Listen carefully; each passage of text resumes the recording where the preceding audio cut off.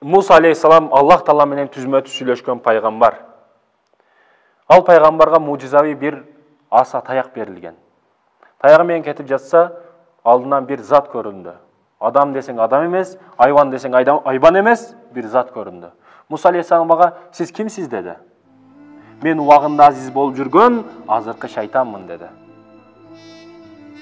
азыркы шайтанмын деди муса алейхисалам аны кетсин деп таягын көрсөттү бирок аны карап шайтан күлдү мен айтып жатпаймынбы эй муса мен убагында азиз болуп жүргөн бейиш тозокту көргөн аллах тааланын кулу миңдеген периштелерге сабак берип жүргөн шайтан мурдагы азиз азыркы шайтанмын деди каалайсыңбы сага кеңеш насаат айтам деди каалайсыңбы сага кеңеш насаатымды айтамын деди аллах таалага жалынып о аллах таалам жараткан аллахым шайтан насаат айтып жатамын дейт угайынбы деди ооба угуңуз уккун ал туура эмес адаштырышты баштаганда мен сени токтотом деди аллах таала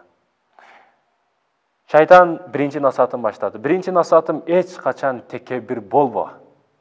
эч качан текебир болбо ал окуган намазың алган илимиң сага пайда берип жатабы бербей жатабы аны акыретте ким бейишке барат ким бейиш тозокко барат аны билбейсиң сен текебир болбо деди урматтуу мусулман тууган көңүл бура турган нерсе бул жерде намаз ибадатты айтып жатат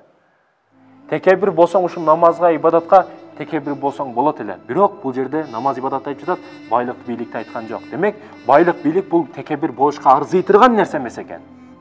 болбосо байлык бийликти айтмак бул жерде шайтан текебир болбо текебир болуп асманды дагы теше албайсың жерди дагы теше албайсың сен ошол жымшыйган нурбек куштар асан үсен болуп каласың сен ошол жерде эле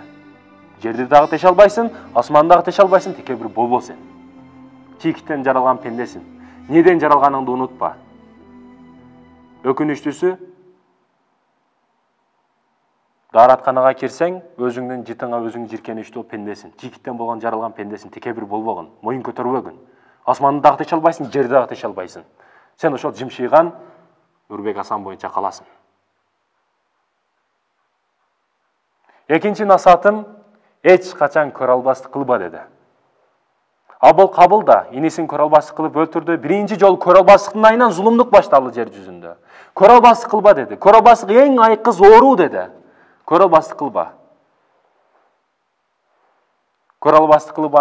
байлығына бийлигине кээ бирөөлөр бүгүн кошунасы бир кырсыкка учурап калса машинеси менен бир авария болуп калса э ырас болбодубу дейт чын болбодубу дейт э сүйүнөт ошол ошондой болгон үчүн көрө албастык кылба үчүнчү насаатым шайтандын муса алейхисаламга үчүнчү насааты үчүнчү насаатым сага эч качан бир бөлмөдө бир зданияда бир имараттын ичинде бир комнатада бир аял заты менен кыз болобу аял заты болобу калбагын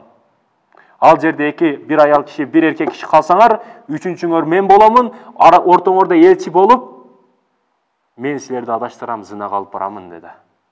эч качан бир зданиянын имараттын мектептин школанын ичинде жалгыз калбагын үчүнчүңөр мен болом ал жерде деди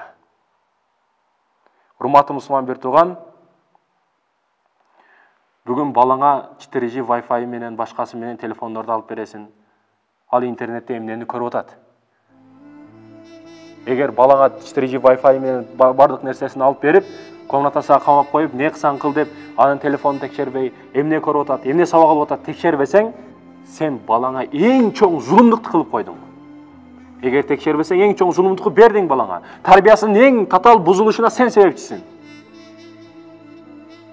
ғалымдарыбыз айтат бир бала бир комнатада телефон менен телевизор менен калганы бул кыздан айырмасы жок дейт бир кыз менен калгандай эле болот дейт ошондуктан урматтуу бир тууган калбагын аял заты менен кайсыл жерде болбосун калбагын үчүнчү насаатым ушул деди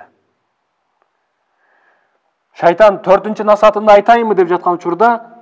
аллах таала мусага пайгамбарга кабар берди мындан кийин укпагын деди мындан кийин сени жалган айтат бирок үч насаатын чындык айтты үч насааты туура деди мындан кийин төртүнчү бешинчи алтынчы сени адаштырышты баштайт дейт алдайт сени дейт